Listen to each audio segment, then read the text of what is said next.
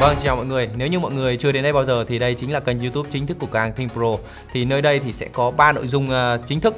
Thứ nhất, đó là giới thiệu những sản phẩm mới nhất uh, về máy tính có bán hoặc là không có bán tại cửa hàng Pro thì chúng mình đều giới thiệu cho các bạn. Thứ hai là chia sẻ những cái trải nghiệm, những kinh nghiệm, những cái tip về cách lựa chọn những cái máy tính ờ, cho cá nhân.